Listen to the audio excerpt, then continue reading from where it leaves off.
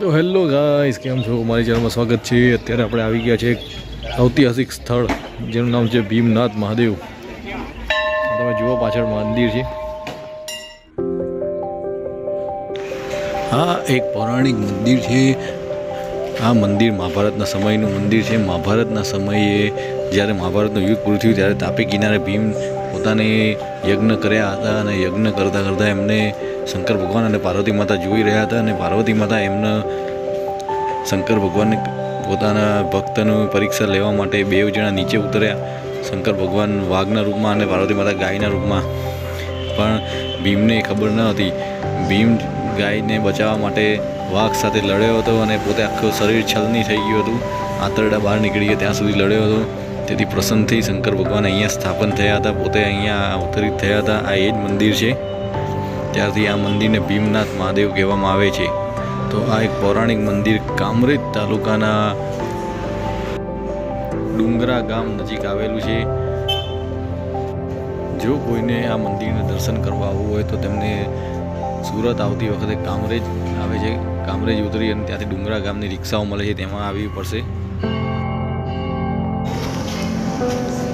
આ મહાદેવજીનું શિવલિંગને ગુજરાતના બાર મહાદેવ જેવી રીતે કે બિલ્લી મોરાનું સોમનાથ અને આ ભીમનાથ એવી રીતે બાર મહાદેવ અલગ અલગ ગુજરાતની અંદર જ આવેલા છે. એમાંનું એક આ શિવલિંગ છે.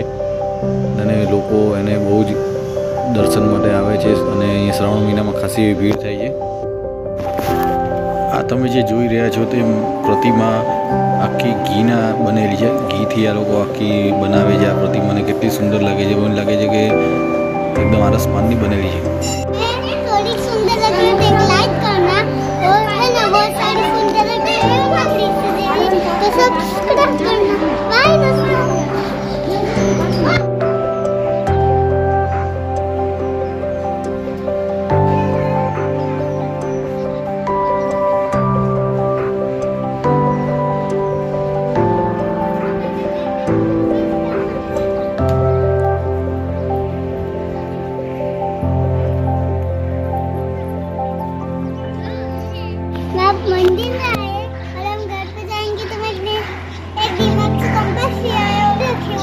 मैं घर पे जाऊंगी ना तब तब मैं आपको दिखाऊंगी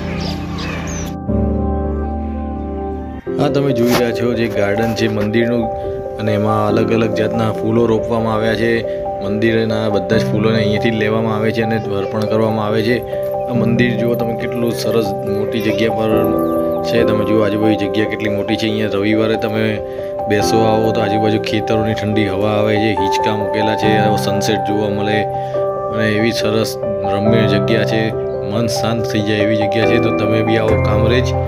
અને ત્યાંથી દસ કિલોમીટર જ અંદર છે. મારા ચેનલને લાઈક અને સબસ્ક્રાઈબ કરજો અને વીડિયો તમને કેવો લાગ્યો એ બી કહેજો. જય મહાદેવ, જય હિન્દ.